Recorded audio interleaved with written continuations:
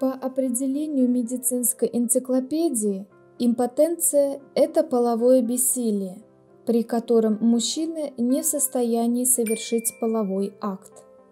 Импотенция – хорошо распространенное заболевание, и хотя оно в некоторых случаях не означает полную потерю полового удовлетворения, но во всех случаях ведет к снижению качества жизни пациента. Бытует мнение, что импотенция – признак неизбежного старения мужского организма, и бороться с ней бессмысленно. В большинстве случаев импотенция является следствием или местным проявлением таких системных заболеваний, как сахарный диабет, гипертоническая болезнь, депрессия. В настоящее время у большинства пациентов Импотенция может быть диагностирована при помощи объективных методов обследования и эффективно излечена благодаря большому выбору современных лекарственных препаратов и хирургических методик. Причины. К основным причинам появления заболевания можно отнести воспалительные заболевания мочеполовой системы и органов малого таза,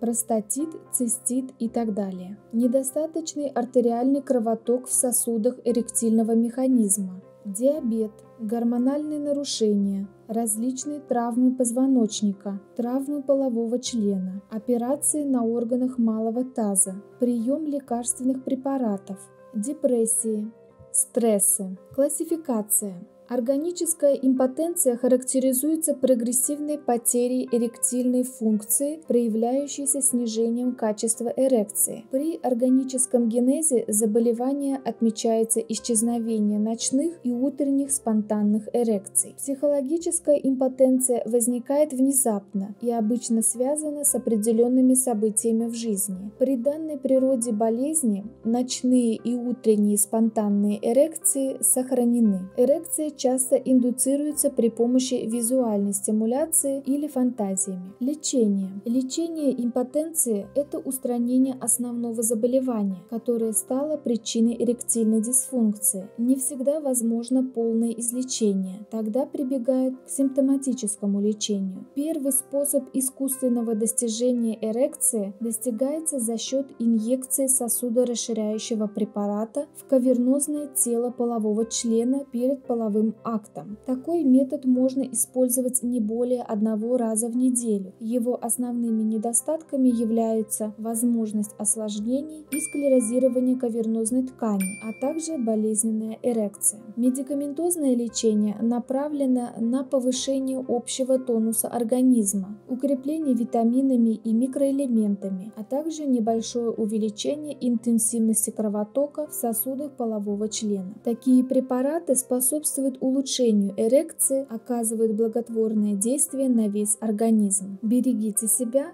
и будьте здоровы!